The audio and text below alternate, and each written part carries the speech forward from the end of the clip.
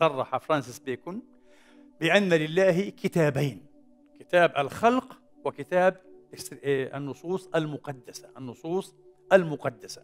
ومن جميل ما ذكره بيكن قال أنه لا ينبغي لأحد بدافع من غطرسة أو بتواضع مصطنع أن يدعي أنه بلغ الغاية وأوفى عليها في فهم أي من الكتابين. لا يمكن لأحد وهذا كلام مهم وجميل. آه.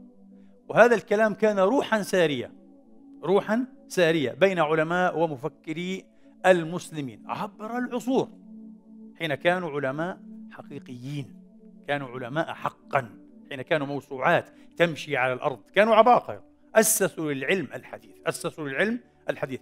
كانوا يتميزون بهذه الروحية من التواضع.